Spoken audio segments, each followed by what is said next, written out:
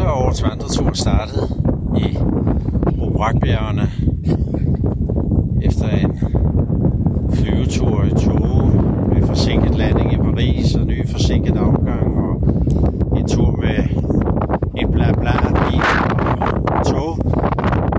Så startede vandreturen i Omont Dobrak i omkring 1000 meters højde, og vi er nu oppe i 11-1200 meters højde.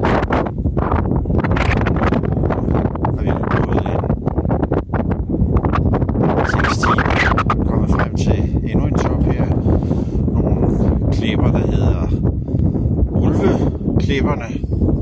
Og